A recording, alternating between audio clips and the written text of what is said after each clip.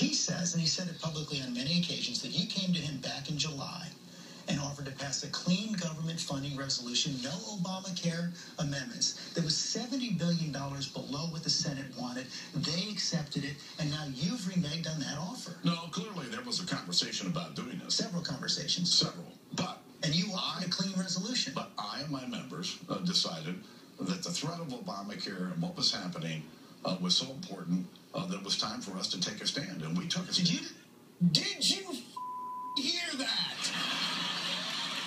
Can we stop having a conversation about it? Both sides you get a. Oh, it's a, it's a- they had a deal, but Obamacare. We decided to take a stand. Look, you think Obamacare is a big enough threat to this country that you need to shut down the government over it? Fine. Own it. Don't fart and point at the dog. Did you do that?